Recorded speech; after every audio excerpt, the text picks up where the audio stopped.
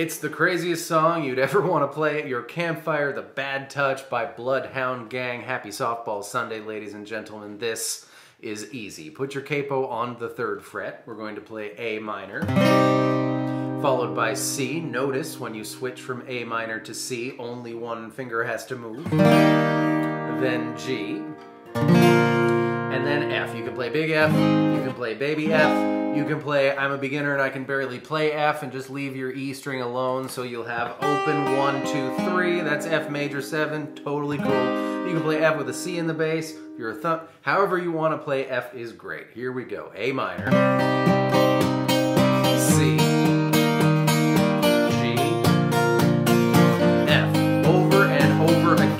Notice how I'm strumming to kind of harken the fact that the bass goes boom ba boom ba boom. I'm strumming down on kind of more mostly lower strings, and I'm strumming up on kind of more mostly higher strings. So just down up, down up, but hit lower ones on the way down, and hit higher ones on the way up.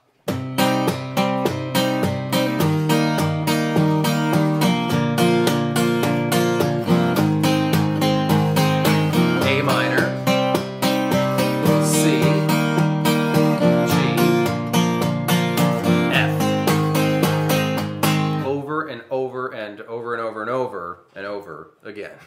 If you've got two guitar folks at your campfire and someone wants to take the synth solo, follow these steps. The B string, 8th fret, I'm going to call this 8, not 1, 2, 3, 4, 5, so I don't have to do math. B8, followed by D10.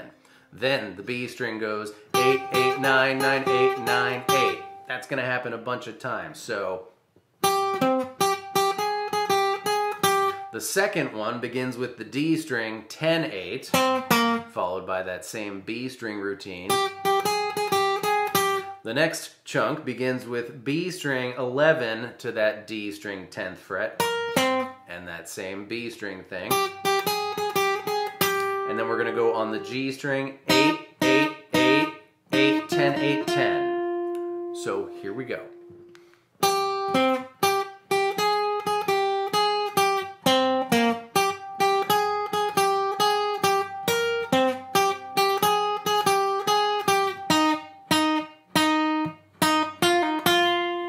That's it. that's all there is to say about that. But it's softball Sunday, so we must indulge in our customary sharing of a, a, comment while I ring this bell that hurts a lot to ring. This is not an Evolution Bell comment. This is just one I thought was really funny and wanted to share. From Mr. Brian Hurt, this video killed two birds. It helped with my guitar lesson and gave me an idea for using shower curtains for some windows instead of using expensive drapes. Thank you, sir.